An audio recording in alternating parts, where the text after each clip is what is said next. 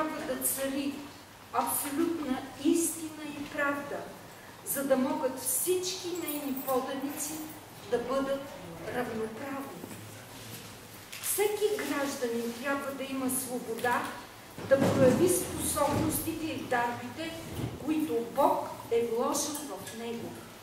Всеки гражданин трябва да бъде идеален човек, за да се създаде идеална държава. Като символ на обновяването на човечеството, ще започнем нашия концерт с изпълнение на най-младата музикантка в братството Елеонора Крумова. Тя ще изпълни мелодия от